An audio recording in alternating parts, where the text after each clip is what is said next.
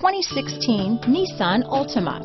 The Nissan Altima offers advanced features to make life easier, and most of the features come standard.